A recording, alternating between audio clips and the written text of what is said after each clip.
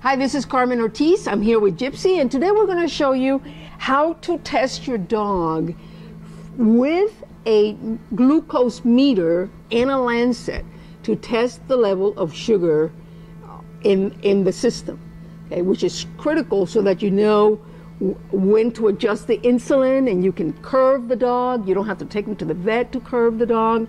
You can, you can curve them yourself.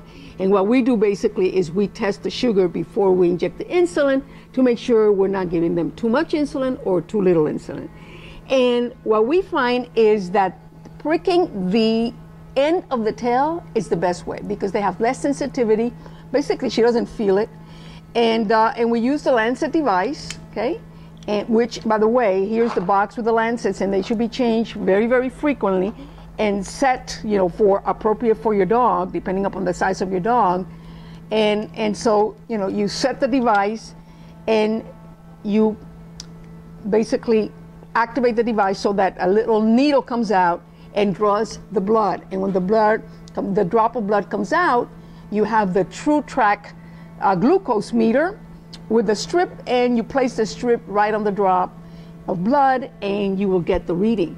Okay, and that's the way you do it. You don't have to take them to the vet. It's really, really easy.